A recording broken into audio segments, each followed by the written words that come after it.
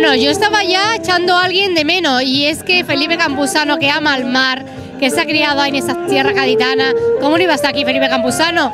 Si es que ese verso, esa poesía es él entero. Felipe Campuzano, buenas noches. Buenas noches, yo no soy muy adepto a las inauguraciones porque vengo ya pasado de muchas inauguraciones, pero es lo que tú dices, todas las cosas relacionadas con el mar parece que tienen un atractivo muy especial para mí, ¿no?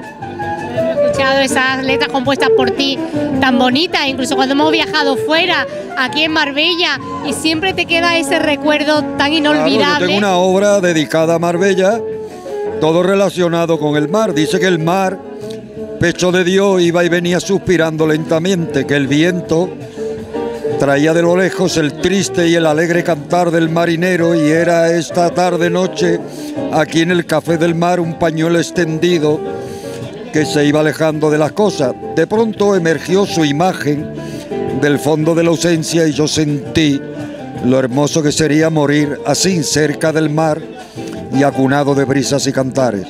Qué bonito, Felipe, de verdad que siempre nos sorprende. Eres maravilloso, encantador.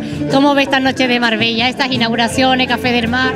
Claro, Marbella no puede caer nunca porque Marbella tiene una idiosincrasia que viene ya de, de muchos años y Marbella sabe superar todos los baches, todas las crisis y todos los pormenores que hay. Prueba evidente que fíjate la animación que tiene esto.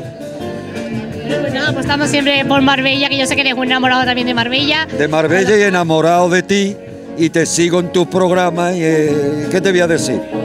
Pues no me digas dame dos besos, ¿te parece? Felipe, muchas gracias. Chao. Era una